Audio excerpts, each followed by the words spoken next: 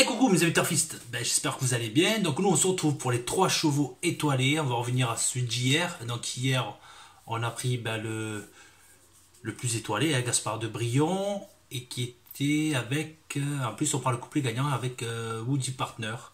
Donc voilà, et notre troisième étoilé qui finit cinquième, donc les trois étoilés dans le KT, c'est parfait avec le gagnant, le couplet gagnant.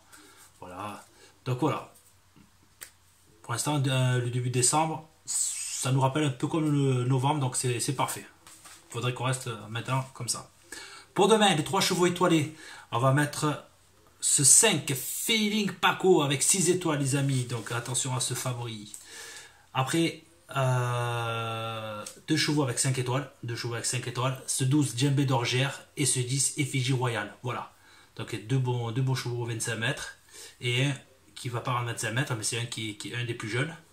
Donc voilà les trois chevaux étoilés pour demain, les amis, le 5, le 12 et le 10. Moi, comme d'habitude, je vous dis bon pronostic, bon jeu, adieu